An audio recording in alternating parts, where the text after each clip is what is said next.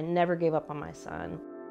He's overdosed, oh my gosh, more times than I can even tell. That I don't even know. The, the ones that I know of, he's overdosed at least nine times. When your child's in active addiction, every time you see them might be the last time. Every time you talk to them on the phone could be the last time. Um, so it's, it's, there's not really any getting through it.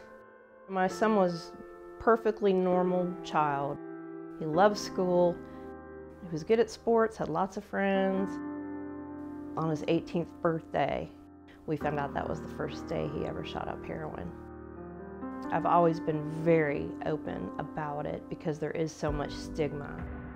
So I've been with GP for a very long time, and I was talking to some friends in the lunchroom, and a guy overheard me, and he was saying, "Oh, you know, all addicts, it's a choice, and you know that's what they get for choosing drugs, etc." And you hear a lot of that, you know. And frankly, I get it. It's draining to hear about on the news. It's draining society. But that same one guy, a year later, called me about eight o'clock at night in tears, asking me for help. Because of the things he had heard me say, he knew that his child was probably on drugs.